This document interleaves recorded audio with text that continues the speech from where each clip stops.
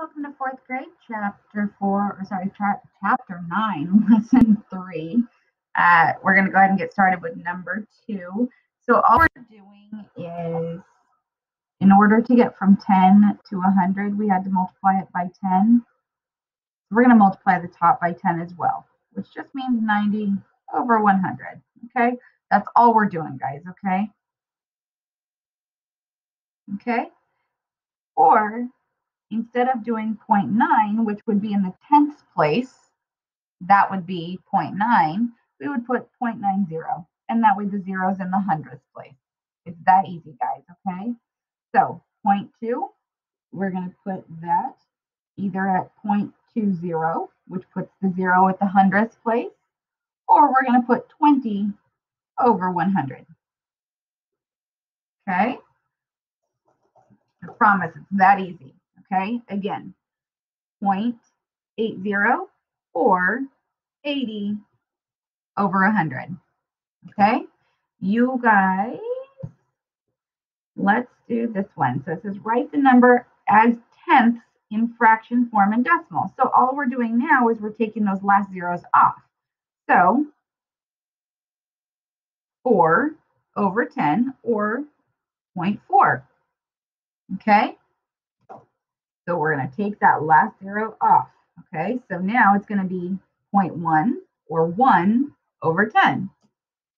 Okay, take that last zero off. So it's either going to be 0.6 or 6 over 10. Okay. Billy walks six tenths of a mile to school each day. Write six tenths in hundredths form. So six tenths, and you need to put it in hundredths form. You guys are going to do that. Okay. It's going to be the same as these ones, guys. Okay. Four states have names that begin with the letter A.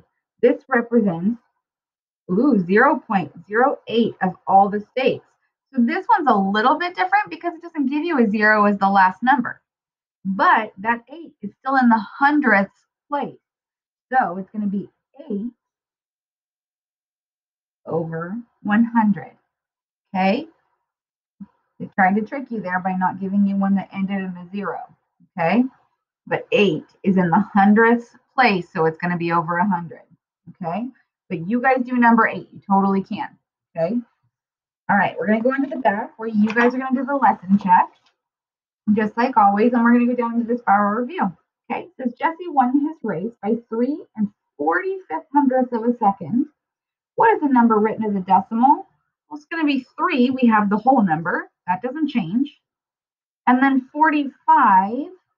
And as long as that 5 is in the hundredths place, which it is, that's it, guys. Okay? All right.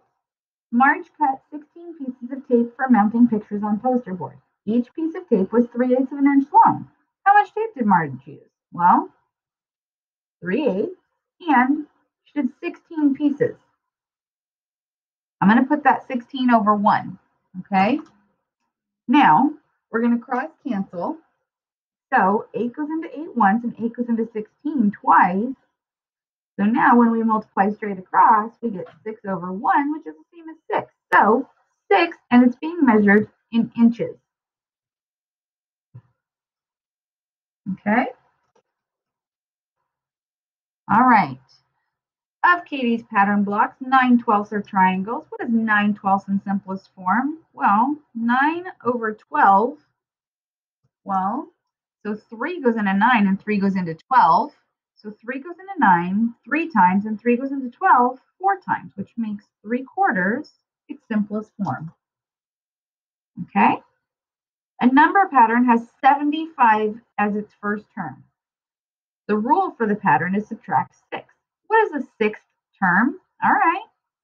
So 75 minus 6. Okay. So that's term number one. Okay. This will be term number two. Okay, so let's do it. Let's go. 5 can't take away 6. 15 minus 6 is 9, and 6 minus nothing is 6. Okay. So now we're going to subtract 6. And we're going to get 63. So we're going to circle that one because that's the third term. We're going to subtract 6 again, and that will get us 57. That's our fourth term. We're going to subtract 6 again, and that will get us 51. And that's got one more. One, two, three, four, five. So we're going to subtract 6 again, and that'll get us 45. So 45 would be our sixth term. Okay? Okay, so one, two, three, four, five, six terms. Okay, 45. Okay. All right, guys. Thanks for hanging out for 9.3. Come on back for 9.4. See you soon.